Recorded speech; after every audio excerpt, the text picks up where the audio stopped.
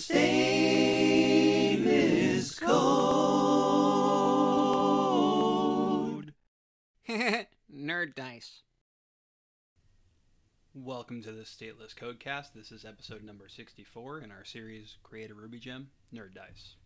And as noted in our previous video, at the end, the the builds are failing because coveralls was down, and um, this is about three days later, and coveralls is still down. So rather than we look at our backlog here, rather than um, knocking out these two uh, minor fixes, I'm going to move this item that's been kind of at the bottom of our backlog for a while to the top of our backlog, which is adding Nerd Dice to the cata- catalog for Ruby 2 Toolbox. So Ruby Toolbox is can be found at ruby-toolbox.com, and it's a uh, a website that catalogs and uh, various Ruby gems in the Ruby ecosystem and uh, allows you to browse them by category. It tells you how popular they are, which can help indicate how much support you're going to get, uh, how, how long the gem will stay around, stuff like that. So when you're re- when you're choosing things for what you're going to pick for gems and dependencies in your gem file, um, you want to make sure that you choose choose gems that will that that other things being equal are uh, widely adopted that are frequently updated that are in a good code health standpoint here. So let's look at rails as an example. So rails has been around for a long time. It's a long-lived project that still receives updates. You can see information on Rails has 302 million downloads, 49,000 stars. You're going to be in pretty good shape um, dealing with the, these things. It um, provides you a link to the project's README, so it's pretty nifty. And if you want to go and let's say you want to find out let's say I want to find out about pagination.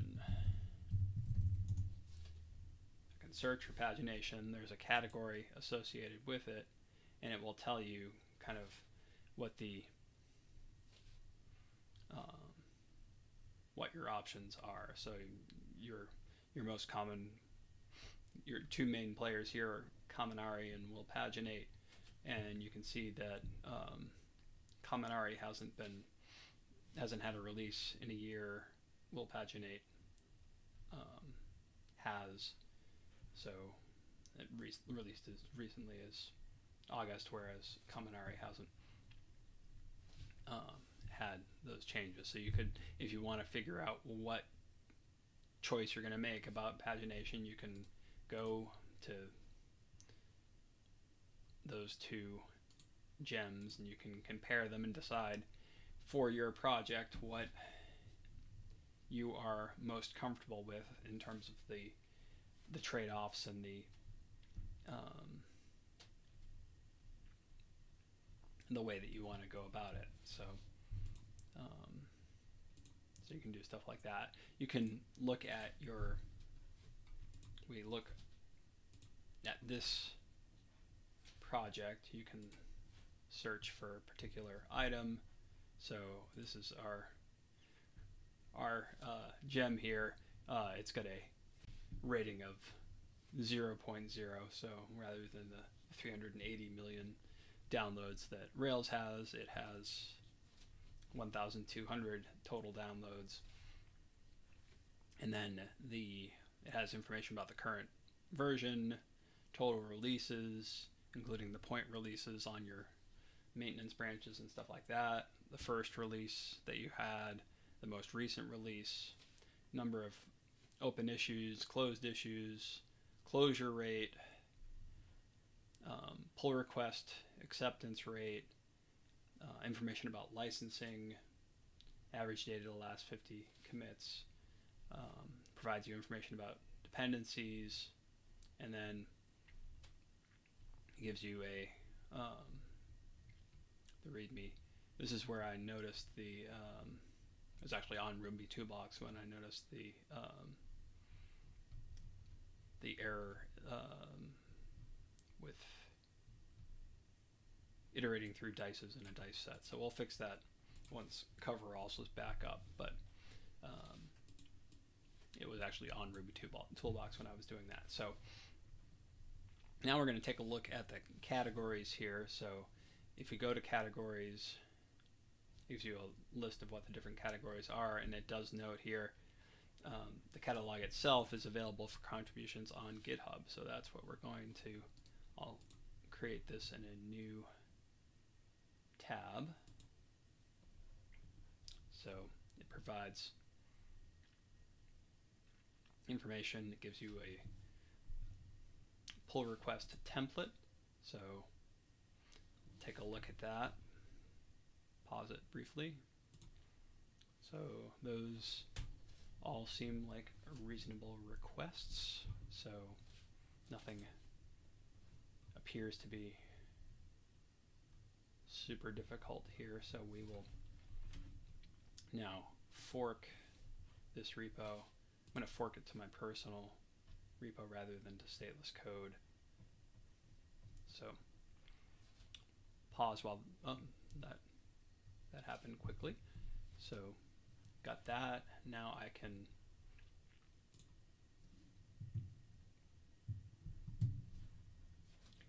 take this and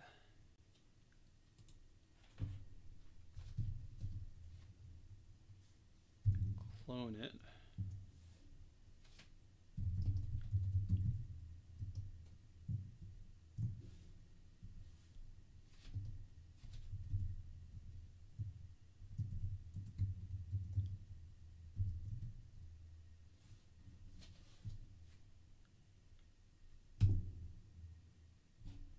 So now go into VS Code. We'll temporarily close our Nerd Dice folder and we'll open the Ruby Toolbox folder. And it notes in the the README here. I can go, I guess I can go to my README now that um, information about the structure and uh, you essentially just need to make sure that you add to the different categories in the catalog in a case insensitive order. So we'll take a look at fun. Fun is probably one that would make sense for us. So I can take a look at game libraries and I would want to, if I want to include this, go in and add Nerd Dice here. And then the other one where it probably makes sense is in math and science. So there's a math um, and an aeronautics, and I can add to that. So that's what I'm going to attempt to do. So take a look here, catalog and then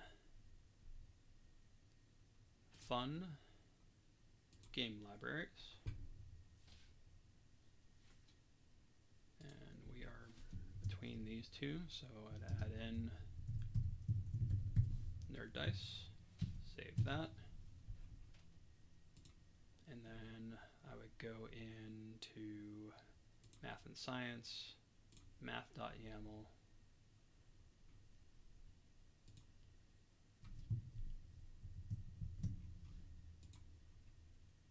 this would be between these two. Save that. And then I'm going to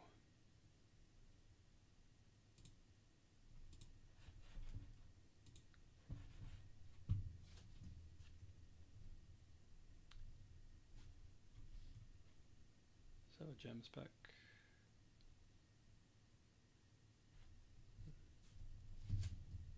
bundle install here. Could not locate a gem file.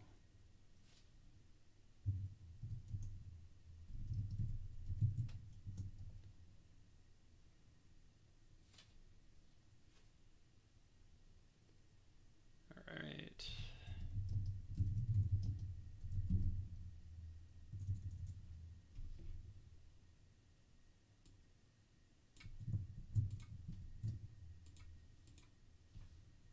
We'll do that.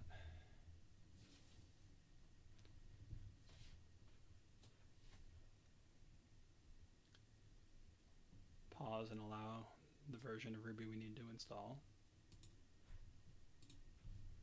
Run that. So now I can attempt to bundle install.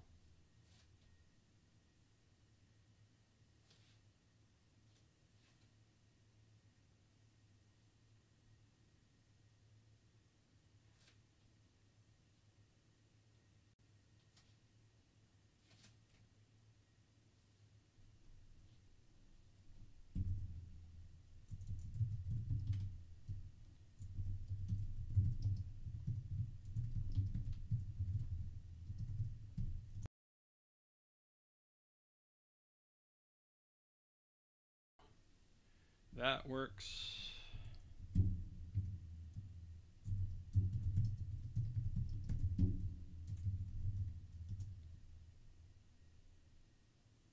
Rubocop is fine.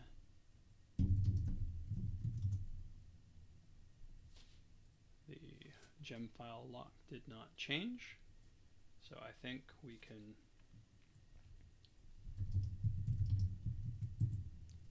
add catalog, add our changes, and then we'll commit that,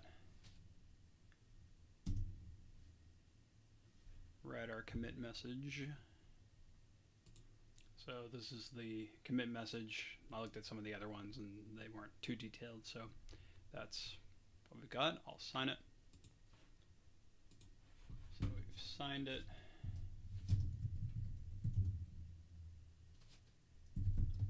Push, and this pushes it to my my own forked version of the master branch there.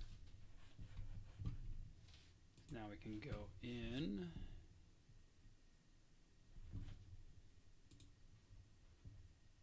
The catalog and see my commit in here.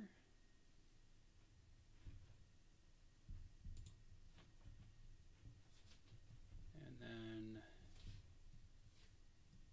contribute, open pull request.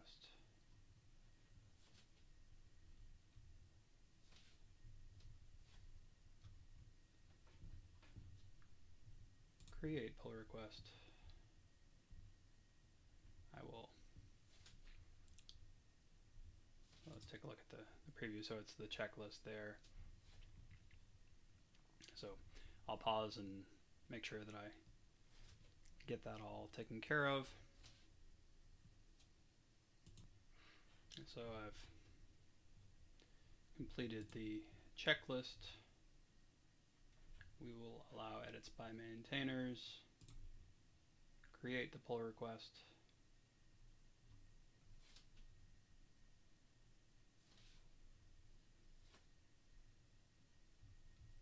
and it is now showing as open.